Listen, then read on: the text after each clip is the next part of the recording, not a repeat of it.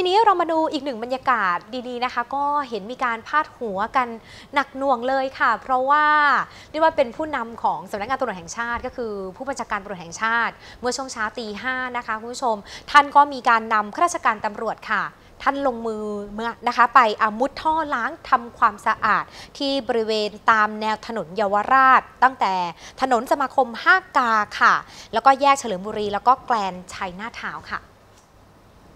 โดยเมื่อช่วงเช้านี้นะคะ คุณผู้ชมเวลาประมาณ 5 นาฬิกาหรือว่าตีห้านะคะ